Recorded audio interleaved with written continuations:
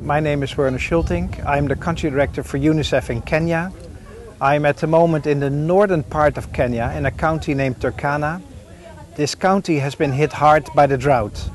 The drought has been here since January and we expect that it will last at least until the end of the year.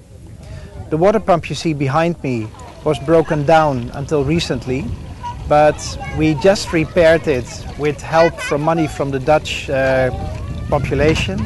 And at the moment, this pump is again providing water for a community with about 4,000 people, as well as for many cattle um, we have started a new maintenance system for the pump and we expect that it will last throughout the period of the drought and beyond.